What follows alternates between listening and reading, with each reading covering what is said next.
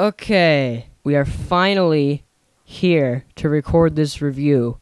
We have tried so many times to figure out a time to do this. We've been trying to record this for like a week and a half now, but hopefully we're good now. And it's Daleks in Manhattan and Evolution of the Daleks. I watched this episode a while ago. I just rewatched it randomly and I loved it then. But then I rewatched it for this and um my opinion went down. That's interesting that you watched it and you liked it, because I remember never really liking this. And if anything, I would say my opinion went up slightly, not by very much, but I would say it went up rather than down. Oh, okay. My overall opinion on this is not very positive, even though, like I said, I would say my opinion did go up a little bit, but still not not by very much. There's just a lot of little things about this that I don't like. Yeah, yeah. Together, they kind of make a not very uh Good episode. yeah. Um, most of the performances are good, I would say. Yeah, I guess. Andrew Garfield's in this.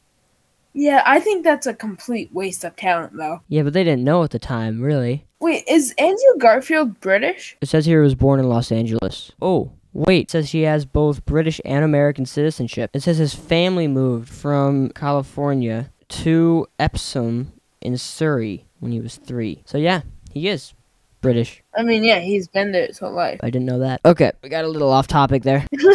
I would say the Tallulah lady was kind of over the top with her crazy accent and all that stuff. And the human Dalek, See, I really liked that. I really liked the makeup and I really liked the concept. wow, because I don't think that performance was good, and I think the costume was ridiculous. So, um, what else do I have for positives here?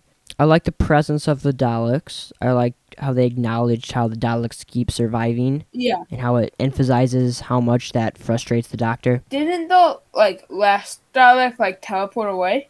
Mm-hmm. Emergency temporal shift. Yeah, I like that instead of them continually dying. Then, oh, they're back again.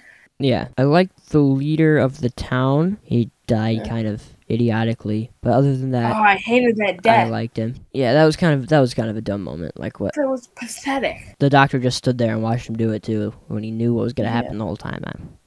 Anyway, mm-hmm. I liked the setting of New York, but again, I think it went overboard with the people and their over the top performances and exaggerated accents and stuff like that. So I have a list of just nitpicks that I'm just gonna rattle through right now.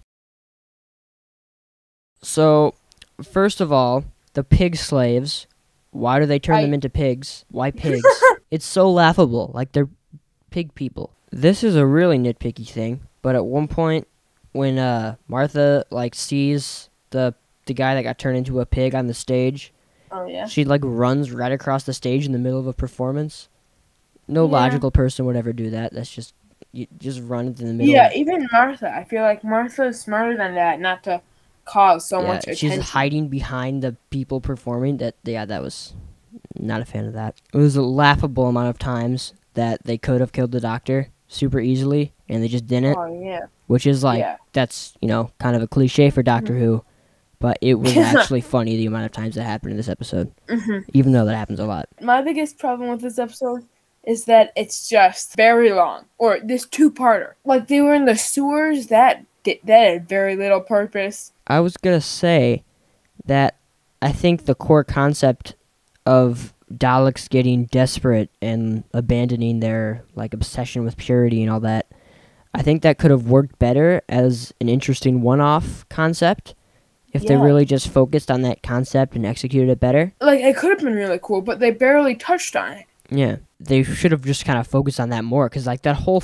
like subplot with uh Laszlo and him getting turned into a pig and all that. Like, what was even the purpose of that other than just to pad out the runtime so that you could have a first episode to the story? The first episode was like, Nothing happened. yeah, the more you think about it, the more you realize how little of what was in that first episode really mattered. I I was even thinking about this.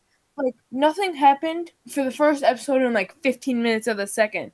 That's when the story car- starts. that first episode, like the the whole thing with the Dalek being turned into a human doesn't happen until right at the end of that episode, and that's Yeah. like if that's the story you're trying to tell, that whole concept of a human Dalek and all that, and that doesn't even start till halfway through. All the stuff in the first half is just not necessary. So how I would fix this episode, first off, it would be a single episode. We would keep the cold open, except Laszlo doesn't get turned into a pig person.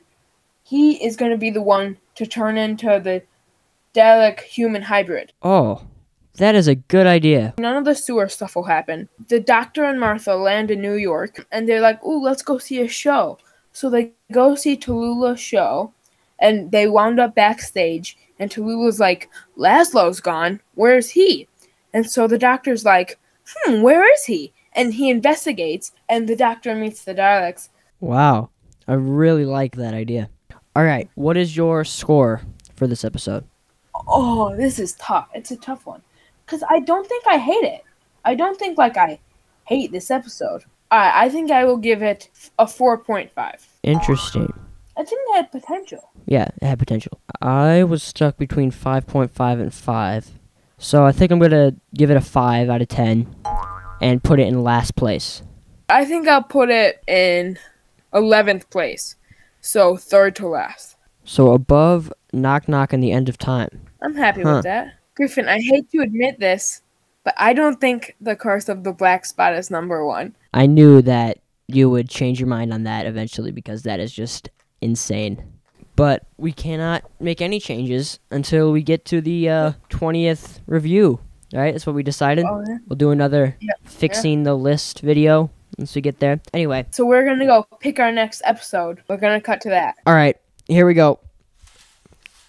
Mixing them up, and I'm just picking one.